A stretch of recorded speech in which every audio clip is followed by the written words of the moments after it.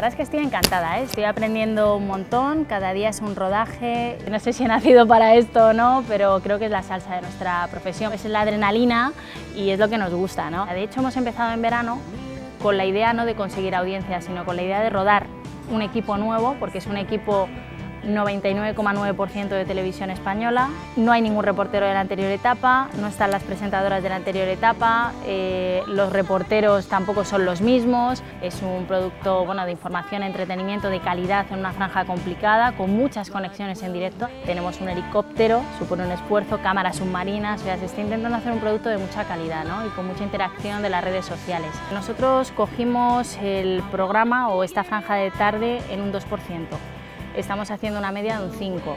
Eh, ¿Es mucho para televisión española? No. ¿Es mucho para lo que teníamos y de donde partimos? Más del doble. ¿Estamos contentos? Sí. Sabemos que, es, eh, bueno, que va a ser difícil, la gente no cambia sus hábitos y menos en verano cuando es, eh, el consumo televisivo disminuye, la gente hasta ahora está en la playa, está al aire libre, está en la piscina. Digamos que las audiencias se van a ver más en otoño, ¿no? aquí no vale todo por la audiencia. Nos interesa la audiencia, claro, somos un medio de comunicación, no tenemos publicidad, pero si la gente no nos ve, no tendríamos razón de ser. ¿no? Es verdad que luego han dado explicaciones, eh, esto es magazines, programas, yo antes pertenecía a informativos, desconozco exactamente las, circunstancias, por lo que he leído eh, había algún problema técnico con la terrena o con el Centro Territorial de Santiago y por eso se tardó en reaccionar.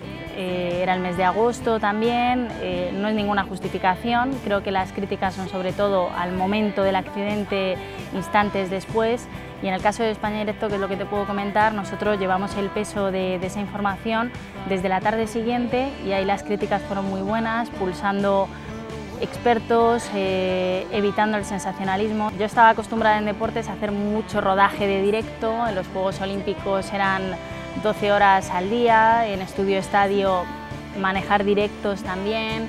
La manera de trabajar en España directo, mm, lo que varía sobre todo son los contenidos. Yo estaba acostumbrada a tratar unos temas en general amables y aquí, pues bueno, temas que no había tocado, un registro diferente para mí.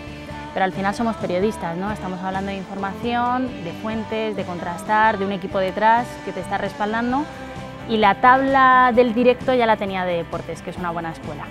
Esto lo interpreto como un cruce de caminos y una nueva, un giro ¿no? a mi carrera profesional.